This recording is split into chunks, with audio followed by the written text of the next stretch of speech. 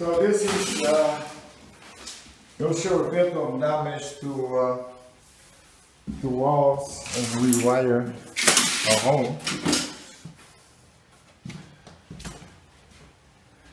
When we wire our home, there's uh, a few openings that have to be done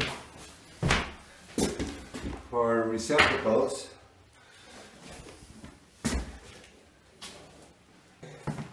It could look like that. See, that's an example of uh, low damage.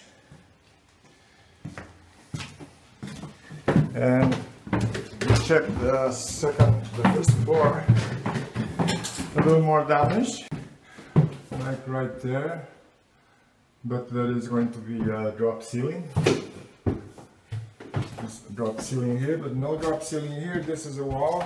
And there's a duct duct right here. So that's quite a bit of packing. Another little bit of a mess. Here cables to go up but there's a drop ceiling here. Switches have to be uh, lower if it's too high or whatever. It's a little bit of uh, damage where switches go. Like that there's a drop ceiling here. Being a drop ceiling is okay And sometimes you gotta get around corners. This is the side entrance, but it's gonna be with dry wall, so that's alright.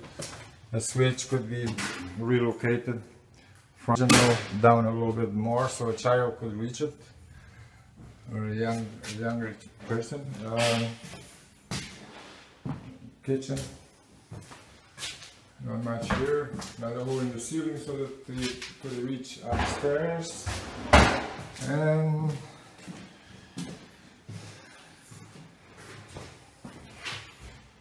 Here's another example.